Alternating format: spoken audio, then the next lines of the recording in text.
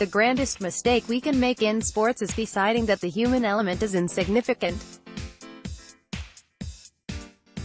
Make no mistake about it, analytics and objectivity are vastly important, and something I am greatly in favor of. But at the end of the day, these players are human.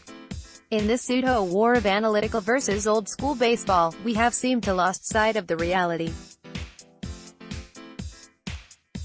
The sweet spot, similar to many domains in life, is somewhere in the middle. The way I see it, analytics shouldn't need to win this war, yet they also need to lose the battle of psychology in baseball. In my non-baseball life, I am a clinically competent doctorate of psychology trainee. This unnecessarily long title basically means that I have completed the academic training, the multiple rotations, and the clinical competency exam needed to complete a doctorate in clinical psychology. The next step is an internship year, and then graduation which at last allows me to realize the title of Dr. Martinez. What you are about to read comes from research of empirical evidence, academic experience and training, and objectivity, rather than rhetoric or opinion.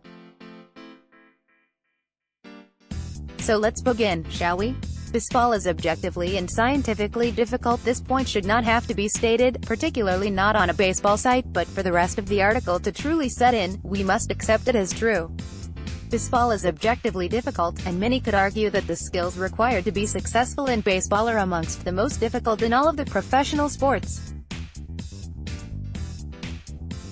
For instance, when looking at the physics and timing of hitting a baseball, the hitter has less than 400 milliseconds to hit a 95 mph pitch. This is 400 milliseconds to not only identify the pitch but also tell your brain and body to begin swinging, and then make contact with a round ball solely using a round bat. Good luck! Now imagine being the pitcher, or the fielder that has to field a ground ball coming at you with a 100 mph exit velocity, or an outfielder that needs to track a scorching line drive or a fly ball that is 10 stories in the air, where it gets to the point that all you see is a very small white dot coming down at you. Consider how difficult all of this is, and then sit back and realize that I have only discussed the physical aspects of this game, and I'm still missing vital physical elements such as running and hand-eye orientation. Nonetheless, there is an entire other aspect of the game that has nothing to do with your physical state. For instance, imagine that you are Brian Anderson hitting at Marlins Park. It's the bottom of the eighth and the Marlins trail 2-1. You're facing Aroldis Chapman, who was just called in because Victor Victor Mesa, Lewis Brinson, and Monte Harrison all got on base in front of you. There are two outs. The pitch sequence you see is as follows, 102 mph fastball for a strike count at 0 to 1, changeup low for a ball, 1 to 1, 99 mph fastball for a ball, 2 to 1, 100 mph fastball for a swinging strike 2 to 2, slider away for a ball, and you stand there with the count full, 3 to 2. As a friendly reminder, Chapman threw five different pitches in his 2018 campaign, so to the best of your knowledge, his pitching repertoire includes a fastball, sinker, changeup, slider, and a splitter. Oh, God and let's not forget that his fastball is coming in a 100 mph. What's going on in your head? What is your approach? Are you recalling your training, your film work, or are you just thinking that an errant fastball from Chapman can physiologically leave you with a traumatic brain injury? What do you do? Well, that scenario is only one of over 1,000 mental calculations and decisions that the average Major League Baseball player makes on any given game of nine-inning baseball. Please reflect on what you just read, one of over 1,000 mental calculations and this is just one game. Now consider the fact that a baseball season has 162 games, plus playoffs, plus spring training. Then consider that on the baseball diamond, you are both collaborating with your team, but also uniquely fully independent. Regardless of the situation, when the ball is coming your way, it is just you and the ball. It is your responsibility to pitch the ball, it is your responsibility to hit the ball, it is your responsibility to field the ball. Do you know what that equates to? Pressure. Immense pressure. This section was presented to support a linear analysis of the psychology of baseball, and it is as follows. Baseball is objectively difficult. Greater than baseball applies significant pressure on individual performance. Greater than individual performance leads to unique levels of stress. Greater than stress is psychological. Greater than numbers and analytics will not be able to operationalize it. Want proof? Let's look at two case studies. Monday through Friday, Anderson wakes up, puts on his suit, and goes to work at the local bank. His manager is approving of his performance, and his customers always appreciate his kindness and effective way of running his teller position. All is well with Anderson, until he begins to experience work and family-related stress. This then leads to mood impairment, e.g sadness, lack of motivation, anxiety, and behavioral conflict, e.g. not arriving on time, low physiological energy, poor performance. As observers, we do not know what happened to change his mental processing, but we suddenly see that his work is not as effective as before, and that he's beginning to make mistakes when calculating and counting transactions. Anderson gets called into his manager's office, and they begin to discuss this change. Anderson discloses that not only is his home life disruptive but his friend at another bank was recently held at gunpoint and Anderson has now had difficulties separating his fears from his performance. Whatever the case may be, both the manager, and you reading this, are suddenly much more empathic about his performance, and understanding that clearly Anderson's functioning has been impacted by his mood, mental processing and stressors of his life. It's called compassion and understanding. It's also empirically supported throughout all of research, our mental status is highly related to our overall performance. Instead, I don't know, he's a baseball player, standing in Marlins Park, hitting in the eighth inning, with the bases loaded, against Aroldis Chapman and a 3-2 count.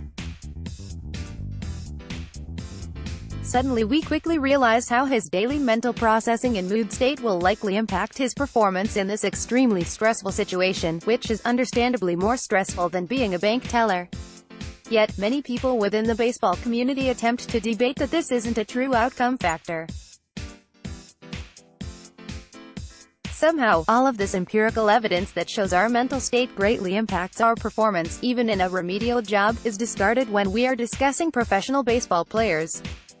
For those of you that are in this faction of thinking, I apologize, but the research is adamantly against that line of theory.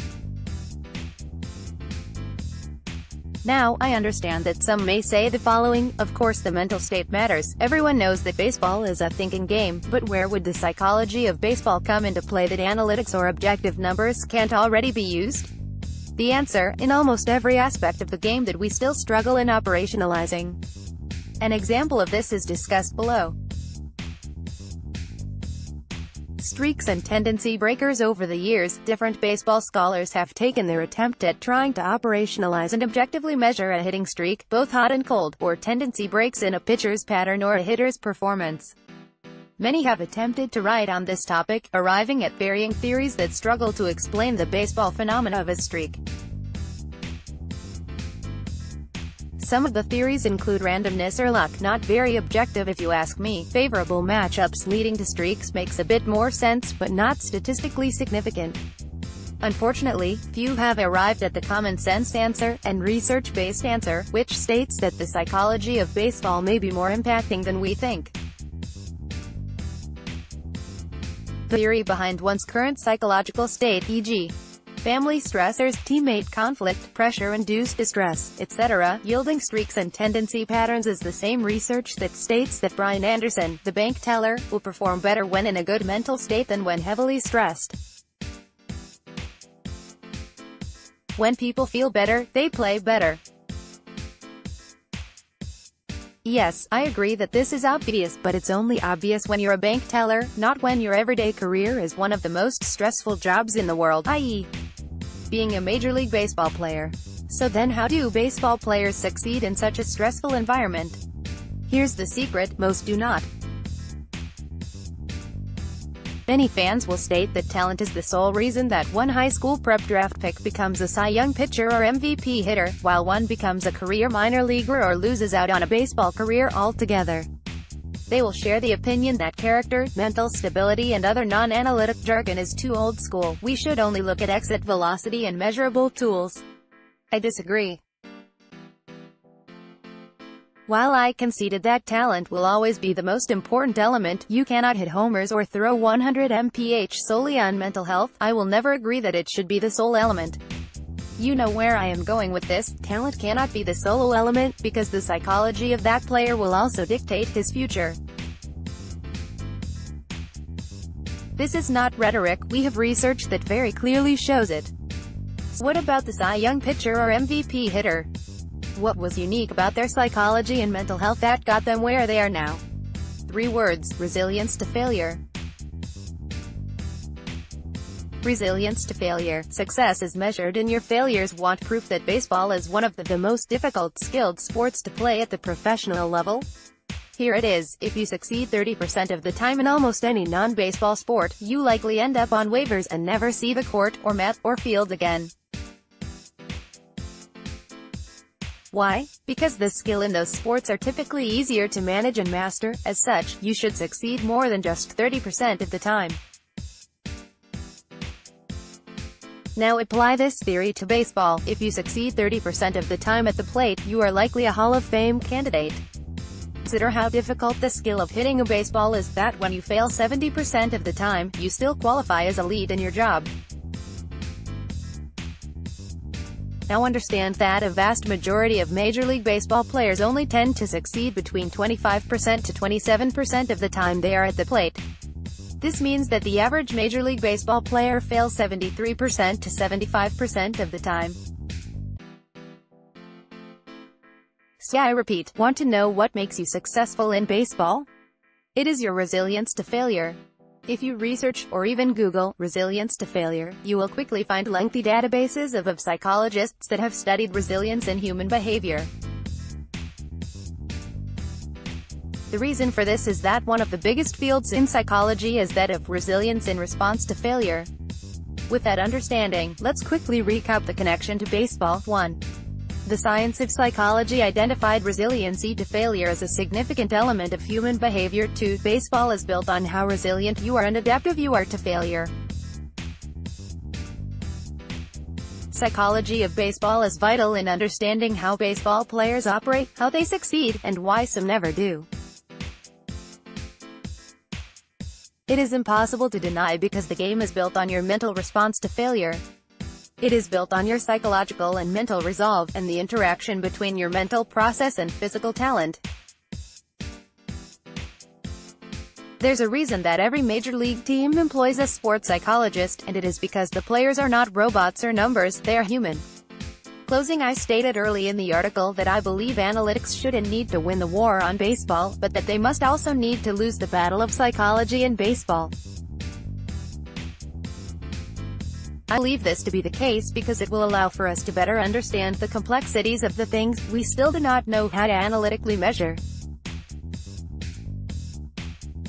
Moreover, it allows us to realize how important the managerial position can still be in baseball, at least when the manager understands the things covered in this article. It also permits us to sit back and realize the players we observe are not just numbers, but also humans, emotional, mood-changing individuals. They have one of the most stress-inducing jobs in the world, which requires split decision-making on a constant basis, with the understanding that all eyes are on them. This game is beautiful for a million reasons, and the psychology of baseball is one of them.